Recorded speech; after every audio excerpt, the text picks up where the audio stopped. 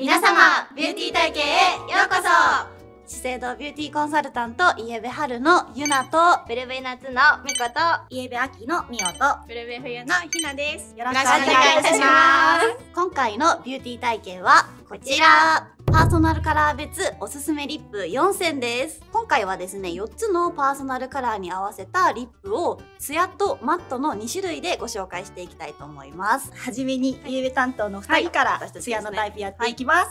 はい。早速、やっていきましょう今回ですね、ツヤのタイプのリップはすべてこちらのマキアージュドラマティックルージュ EX をつけていきます。こちらは美容オイル入りの口紅で透明感の高いツヤと色が演出できます。さっと塗って軽やかさのある透明感が演出できまして、唇に2秒当てると厚みのあるツヤと発色になります。すごく綺麗ですよね、一本でもね。そうなんです。はい1本で2度楽しめるのがこちらのリップの魅力になります。まずですね、イエベハルさんの色選びのポイントをお伝えしたいと思います。ツヤだったりとかフレッシュな色が似合います。実際にちょっと今日使うリップを手のひらに出していきたいと思います。マキアージュドラマティックルージュ EX OR420 番を使用していきます。すごいフレッシュな感じでね。はいゆなちゃん似合いそうですね。ありがとうございます。はい。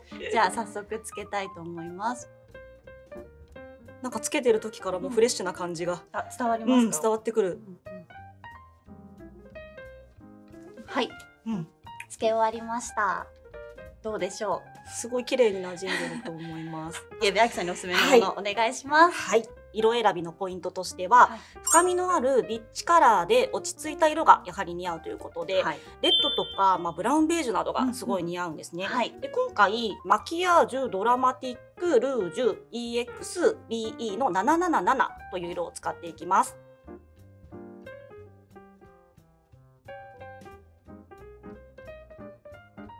このぐらいの一気に顔色が明るくなりましたね。すごい私にぴったりの、ぴったりです。はい色です。イエベアキさん、うんはい、の肌色にもぴったり合うと思うので、ぜひちょっと試していただけたらと思います。じゃあ次はブルベ担当の2人に変わらせていただいて、ははいい、ブルベ担当のみことひなです。はい同じアイテムを使っていくんですが色がちょっと変わってきます。RD425 ですね。こちらのカラー使っていきます。ブルベの夏だとソフトでエレガントな印象がもともとあるのでこういった黄身のない青みがかったピンク系だったりとかちょっとローズ系のねはい。カラーがブルベさんの夏にはねお似合いですよね、似合い。つけてみますね。はい。はい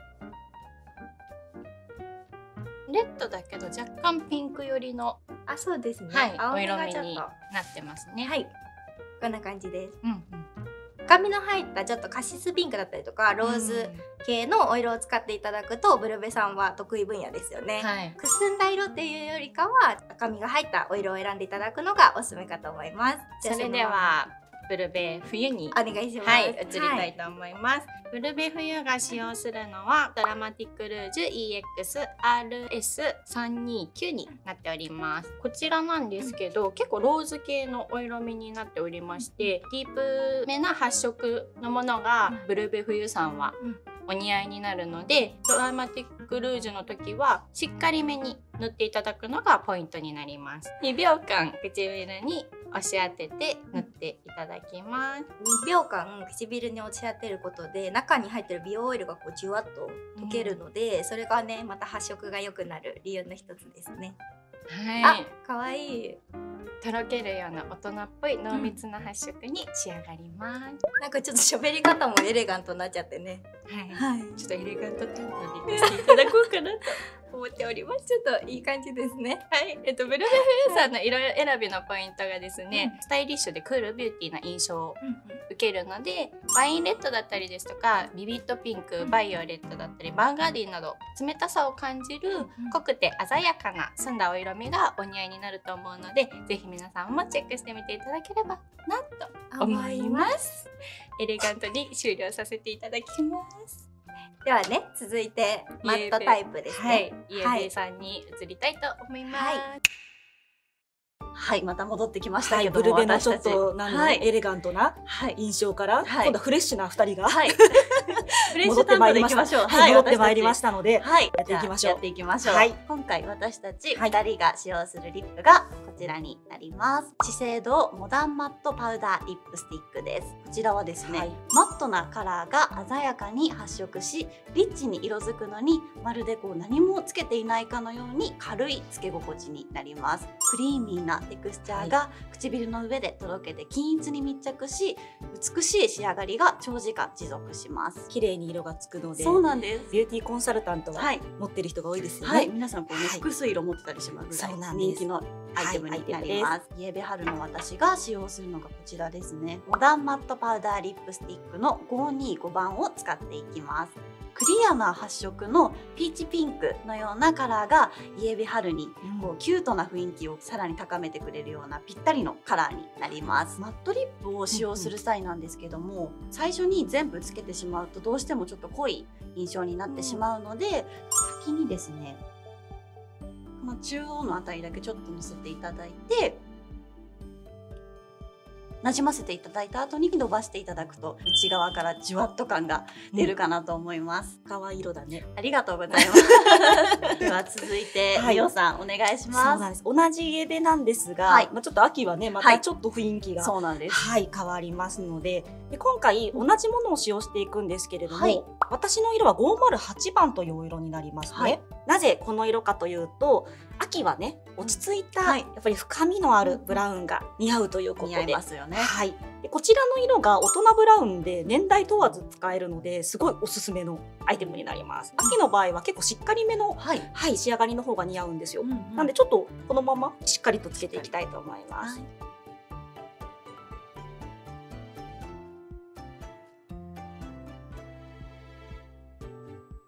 こんな感じですすっごい似合ってます。イエベアキさんをこうさらに魅力的に見せてくれるカラーかなと思います。私もねもううん30代なので、やっぱりこう落ち着いた深みのある色っていうのがやっぱりね、はい。はい好きなのでこの色はもう本当に私一年中使っている色になりますはい。ではまたブルベに変わりましょうかね。はいそれでは行きましょうブルベの2人がマットリップを実施していきたいと思います、使用するのはこちらですね。資生堂ビジョナリージェルリップスティックになっております。先ほどイエベさんがつけていたモダンマットパウダーリップスティックに比べて少しこうみずみずしい使用感になっております。水が弾けるような軽い感触の潤いたっぷりなセミマットリップになっているので唇につけた時は割とこうスルスルっと溶けて伸びていくんですけども軽くティッシュオフするだけでピタッと色が密着してくれるようなリップになっておりますのでこちらのリップでブルベは仕上げていきたいと思います。はいでは私からまたつけますねはい、お願いいたします。使うお色が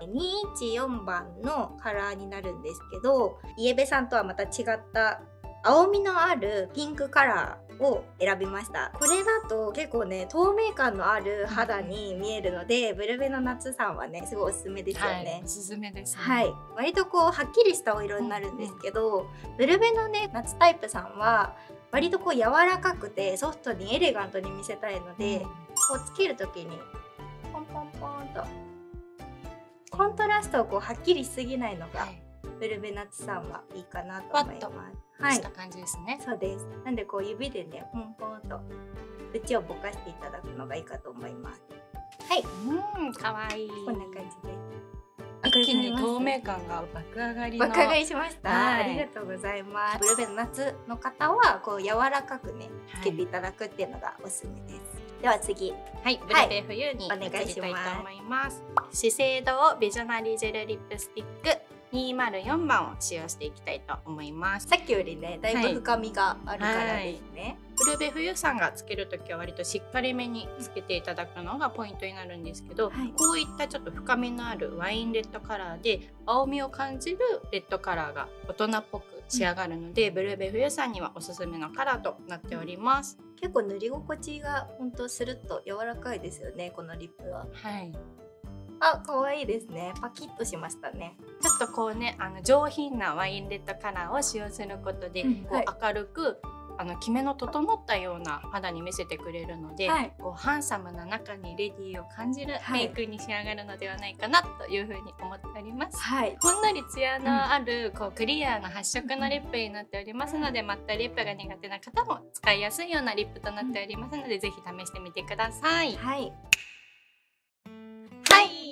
パーソナルカラーに合わせたリップの色味とおすすめのリップをご紹介してまいりました。い。かがだったでしょうか？こう見るとわかりやすいですよね、この今結構4タイプ並ぶと、はい。すごいよね、すごい違かりやすい、はい。ぜひあの皆さんもご自身にある色を見つけてみてください、そしてですね私たちのねこの4人のインスタグラムやツイッターでもメイクの紹介しておりますのでぜひそちらも概要欄からチェックしていただけたらと思います。はい。では今回の動画がいいなと思ってくださった方はぜひ高評価ととチャンネル登録をよろしくお願いいたします。それではまた次回のビューティー体験でお会いしましょう。ありがとうございました。